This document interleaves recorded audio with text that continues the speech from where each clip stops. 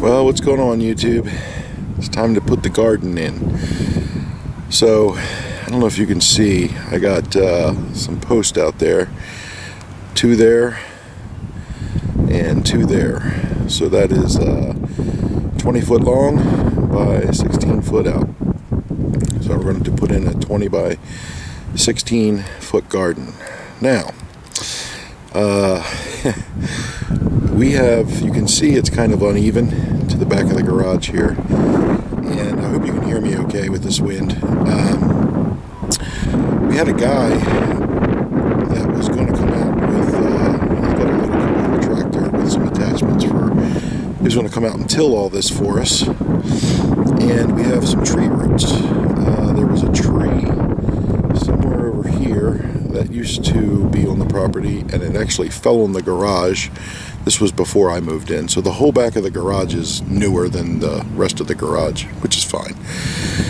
But that tree, the stump is been, uh, the stump wasn't removed. It was just cut low enough to where I can get my tractor over it. And uh, there's a bunch of roots in there.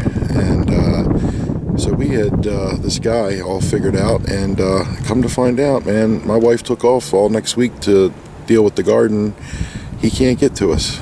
So we may be renting a tiller and doing it ourselves and getting all the roots out. I'm going to walk over there so I can show you some more details. So as you can see, there's some roots here that are protruding through and God only knows what's below the surface, right? And then we have uh, some more roots here and this is right by the stake, right back here by the garage. So this is uh, stumps here, here. This is all roots actually. Roots, roots.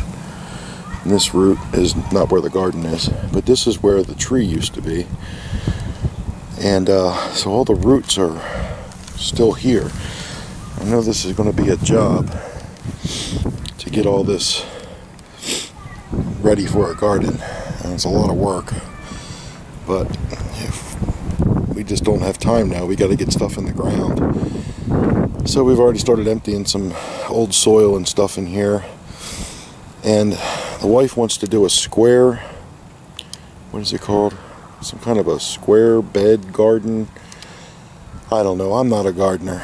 And uh, we've been trying to figure out if we wanted to do raised beds and we wanted to try to figure out walkways and you know I wanted to put wood down for walkways but they're saying don't use pressure treated wood because it will leach, I guess, the formaldehyde or whatever chemicals in the in the pressure treated wood could get into the soil. And so if you're going to use regular wood it's going to dilapidate I think over time.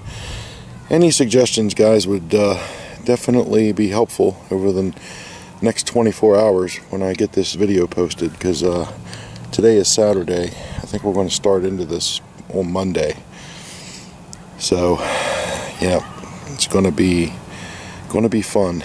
So it's time to clean up out here, and I've already had a couple fires here in the spring in the outdoor fireplace there, and all that needs to get cleaned up. And uh, yeah, it's just time to clean stuff up.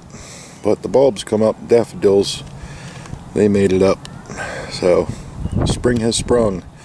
It's time to get busy, getting to work.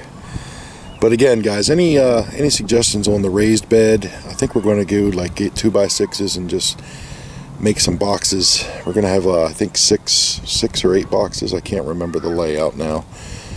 And uh, and maybe we'll just till where those boxes are going and mulch in between the boxes. And I don't know. I need to figure it out so we can get this garden thing started. All right, guys. Thanks a lot. As always, if you're not in preparedness, you're preparing to fail. Thanks.